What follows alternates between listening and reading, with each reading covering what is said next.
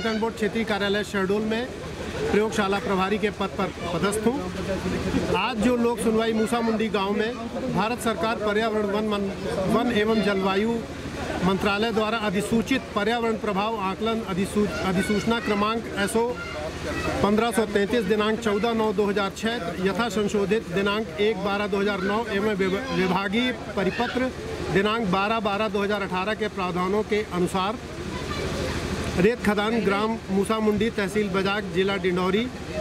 इसकी कुल जो एरिया है, वो है सात हेक्टेयर। इसकी जो लोक सुनवाई यहाँ कराई गई है।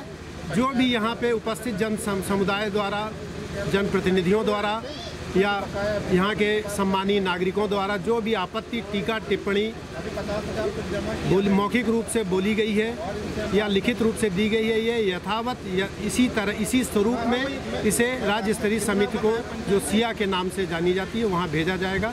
वो लोग इस, इस, इस खदान की स्वीकृति अस्वीकृति के संबंध में निर्णय इसी स्तर थैंक यू